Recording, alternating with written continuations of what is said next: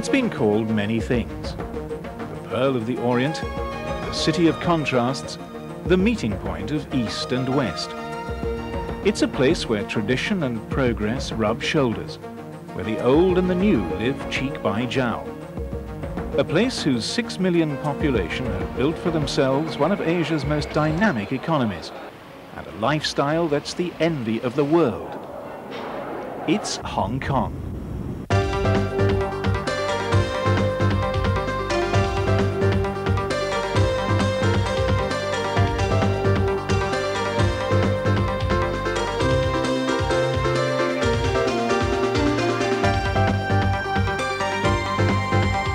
But while Hong Kong has emerged as one of the most important financial and commercial centres of Asia, this very success has brought in its wake one major problem.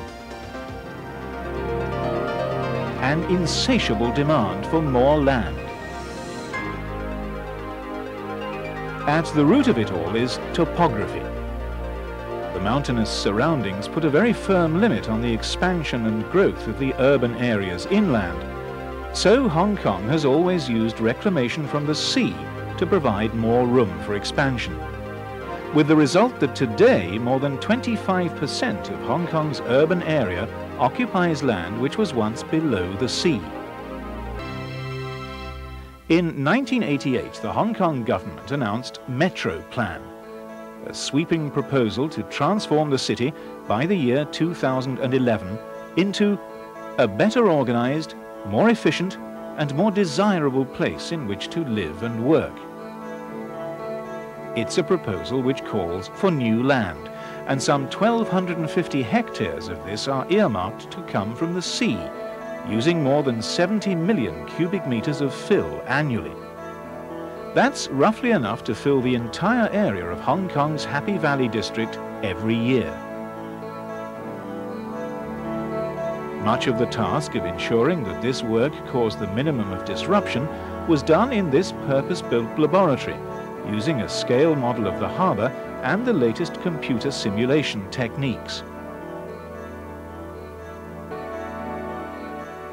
The final outcome will be to join Stonecutters Island to the mainland. But this poses several major problems, not least of them relocating all the businesses on the old waterfront which would find themselves hundreds of meters inland. The answer was to proceed in stages, the first one of which, Phase 1, carried out by Ham, consisted of creating an artificial island off Cheung Sha Wan, and then reclaiming the areas south of Lai Chi Kok and west of Tai Kok Tsui, so that all the businesses needing waterfront access could be moved as quickly as possible.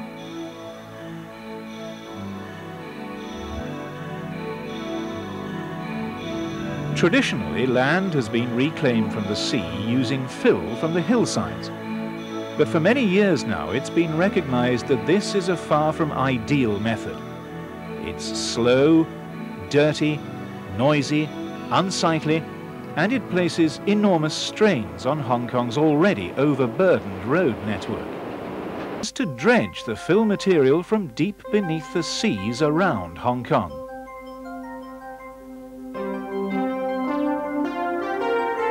But they are in fact extremely specialized vessels. Floating communities hard at work 24 hours a day. Their crews use highly sophisticated computers, completely integrated satellite navigation systems, and electronic survey equipment capable of putting a rice bowl anywhere on the surface of the Earth with an accuracy measured in centimeters all essential for maximum efficiency and safety in Hong Kong's busy shipping lanes. Hong Kong's harbour is lined with a layer of mud, which averages 10 to 12 metres thick, to lay bare a solid base for the reclamation to sit on.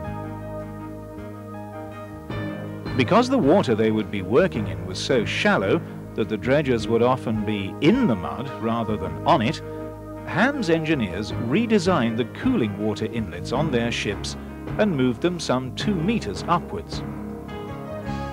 Each dredger can suck up as much as 7,000 cubic meters of seafloor material and transport it many kilometers with a minimum of interruptions for maintenance.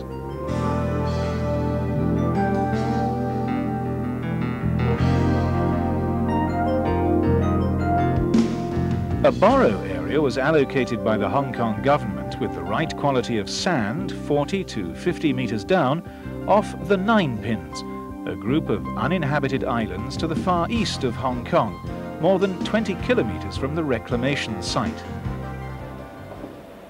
Before dredging itself begins, seabed levels are monitored using the online visualization system and the dredge lines are fixed in place. Then the trailing suction arms are lowered onto the sea floor and the massive on-board pumps started up to draw the sand into the dredger's hoppers where it's drained of its seawater.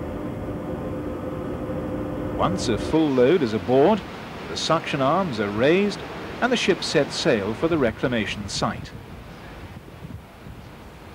If the load is to be dumped in a position which is below the dredger's draft line, then it's simply released through a system of doors in the bottom of the hull. This can be done in a matter of minutes.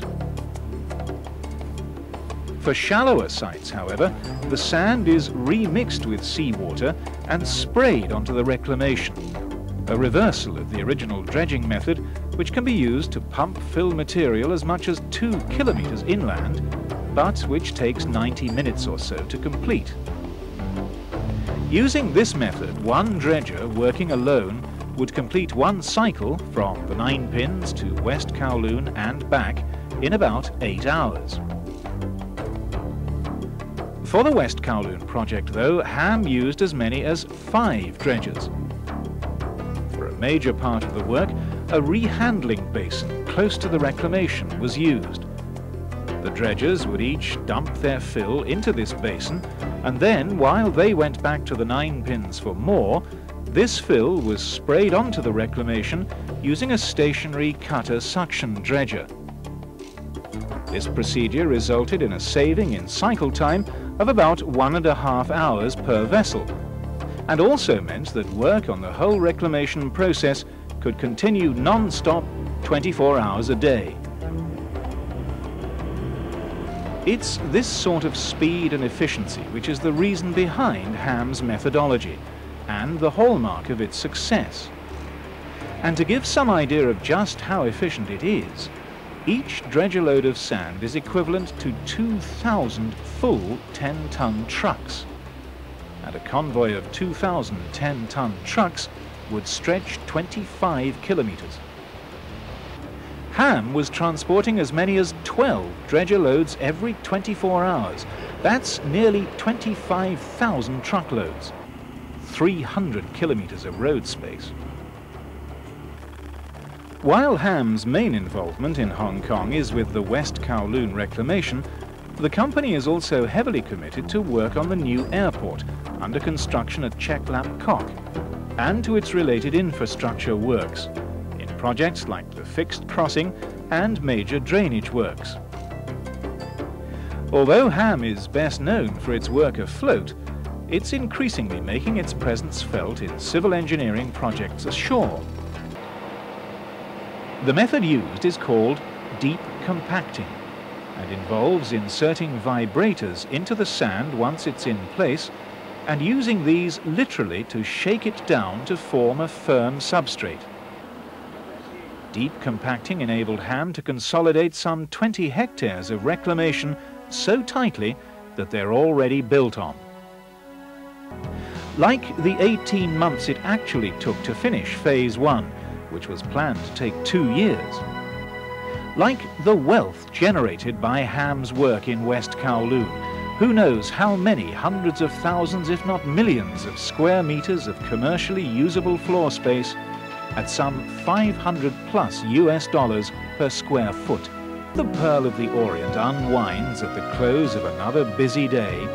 Ham's dredgers are out there, working quietly and unobtrusively, doing their bit to make Hong Kong a better and a bigger place.